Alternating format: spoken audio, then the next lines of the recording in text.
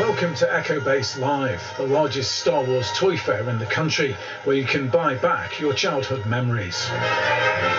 This might look like an ordinary shopping centre, but today it's become the hive of scum and villainy from across the known galaxy. Even Boba Fett's here. What was the first figure you got? That was an Ewok. Stormtrooper. Boba Fett. I got a Gamorrean guard. My brother got an Ewok. He wasn't happy with his Ewok. TIE fighter pilot. Yeah, I remember ripping open the packet, weapon flying everywhere, gone. Wasn't bothered as a kid. Who can command the Millennium Falcon? In 1977, when Star Wars burst onto the big screen, it helped send film merchandising into hyperspace. Who can bring victory to the rebels? With Star Wars toys. Figures that once sold for a pound or two can now reach prices that seem out of this world. I never thought I would ever get my hands on something like this. And the rarer the figure, the greater the value, like this holy grail of Star Wars collecting. Prototype Boba Fett. There's probably 120 of these in the world. They didn't release to the public because there was a choking hazard. We'd estimate that's anywhere between 100 and 150,000 pounds For a piece of plastic. for a little bit of plastic. Yeah. But, uh, you have something I had as a child. In fact, I still have it. This. Figures in original packaging command the highest prices. Why do they go for so much? Scarceness of them. Who thought to keep things on a card 40 years ago? How big's your personal collection? About 600 original figures packaged. Did you have to build an extension? Yes. You built an extension? yeah, yeah. It, it cost me a brand new kitchen for wife. But this is as much about memories as it is about the toys. I model myself on Chewbacca. Takes me back to simpler times.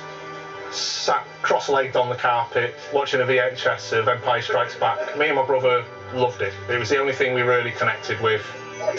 For a summer, me and my friends were just on Tatooine with all of our little Jawas, an amazing idyllic childhood. And there's no end to what you can buy.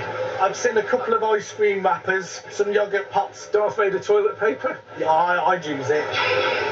This event is about more than just the memorabilia. Hello, One big family, really. It's what gives it the sense of community as well. It's not just an event, it's a whole way of life for people.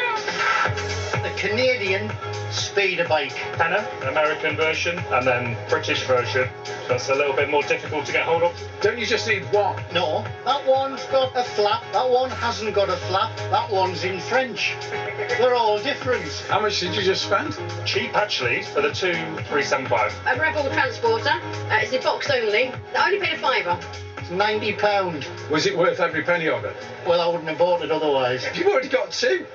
Uh, well, now I've got three. Wherever I go, he goes.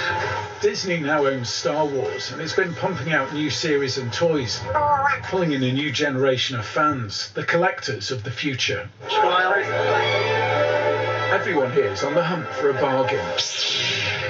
A packet of biscuits, £150. 1983. Wouldn't recommend to eat them. It's not just about the figures, it's not just about the vehicles, it's literally about everything merchandise to do with the movie.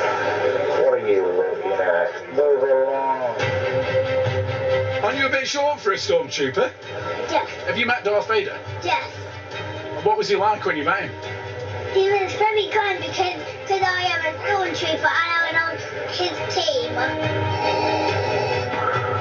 Now the children who grew up with figures are introducing their own kids to them. I love the fact that now I can share it with my children and the next generation. We need a couple of beaters, which is old figures that the children are allowed to play with, because they all want to play with my figures otherwise.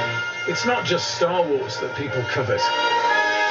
How many containers? So what should you be collecting now?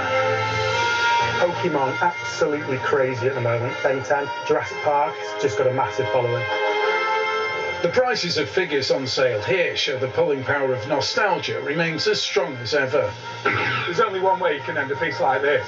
Right